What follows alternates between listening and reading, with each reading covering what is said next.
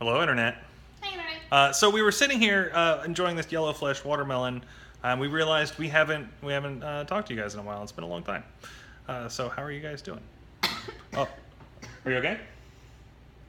What's wrong? I think I swallowed a seed. You swallowed a seed. Boo Bear, you can't do that. That's not good. What's going to happen? I don't know. Oh, you're pregnant? Oh. What? Uh, uh, surprise, guys. Uh, so yeah, the Knight family uh, is expecting an extra Knight in here. There's a there's a baby girl on the way. Any day now, actually. She's that she's that far along. So we apologize for not uh, telling anyone sooner.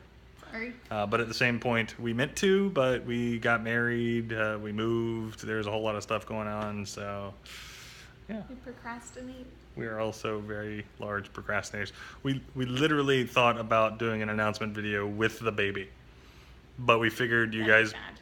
might not like that and might not believe that. Uh, but that probably would have been funny too. Uh, so yeah, see you internet.